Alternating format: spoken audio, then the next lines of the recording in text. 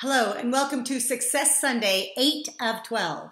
Today, as we examine your written annual plan, we are going to be discussing the piece of the pie that is educational intellectual. If you did not download, if you did not go to my website, KasandraVitacca.com, if you did not go to KasandraVitacca.com and download this resource tool goals wheel, that's still available to you, or ideally, you're just writing something on a piece of paper or typing something. You can use whatever tool you like, it's just a tool. Today, because we were discussing intellectual, educational piece of your pie, there's tons, everything's a resource for all intents and purposes, but let me give you some ideas that I have made available again on my website. Again, if you go to KasandraVitacca.com, heck, you can start with my book. This is a, re- a, a research based nonfiction book. I tell people all the time if you want to increase your IQ, if you want to increase your the efficacy of your brain muscle, therefore keep you free or more free of dementia and Alzheimer, if you want to increase your overall happiness quotient, your overall joy, peace, understanding of any area in life, you need to read about that area. So when you go to KasandraVitacca.com, under resources is a bookstore. There's a ton of books on there for you. And I, I'm, I'm, a, I'm a book person. I love books. I have tons of these cabinet or um, books cases throughout my house. I have books all over the place. Uh, one of my dreams would be to have an entire library. That would be my home. I don't know where my bed would be. So the bookstore. There's a bookstore, and it, I break it down into sort of finances and success and marriage and different areas for you. And so that's part of what's great about when you have an annual written plan and you've identified, you know, I really want to work on my familial relationships and become a better parent, become a better spouse. There's lots of books about that. There's books on my website.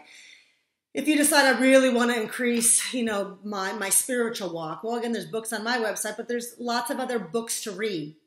And so that's the part that's kind of nice about this piece of your pie. It overlaps with other areas in your life that you may want to work on. But in general, when it comes to increasing your intellectual quotient, again, not changing your number, remember you're born either average, above average, genius, below average. You're born with a capacity, you're born with an IQ.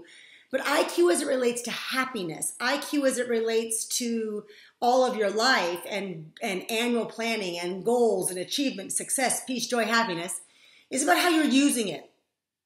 And so if you, another resource on my website, again, everything's under resource and tools. There's a bookstore, there's webinars, a webinar uh, called the Happiness Formula IQ, and it's worth looking at that. There's a webinar called Secrets of Success, and a lot of what they're talking about is reading so much the way that you increase the power of your brain is to read about is just to read just in general it's the way you exercise it you can obviously learn. You can make as one of your goals i did one year to, as a brain exercise to learn the military alphabet alpha beta alpha bravo charlie delta. You can learn the greek alphabet you know alpha beta epsilon.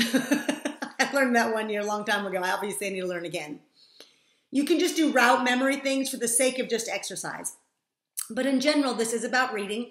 You can watch documentaries. You can listen to TED Talks and, and, and, and intellectual podcasts that sort of feed your brain. But really, the power of the book, the power of a book that you actually open up and then you can write in and have sticky notes. There's power in that in terms of how your brain functions. And again, this is about the intellectual piece of your pie. So from the bookstore with lots of books, my own bookstore where I'm trying to give you a starter, a way to start in these areas, some ideas, uh, to just obviously the world of books out there, uh, quality based research fiction, nonfiction.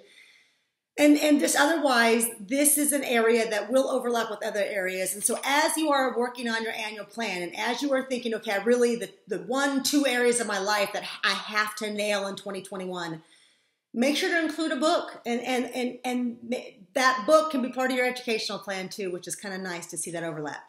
So, as you continue on creating your annual plan, I hope you are enjoying these vlogs, and I will speak to you in about a week. Ciao.